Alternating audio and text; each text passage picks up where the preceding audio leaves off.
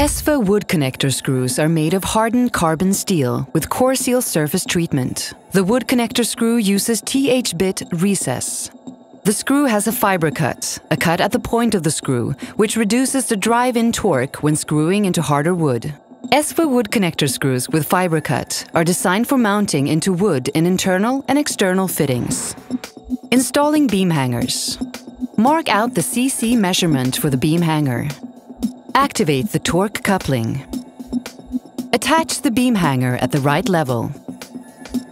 Insert the beam into the beam hanger. Fasten the beam hanger and beam. Finish the mounting on both sides.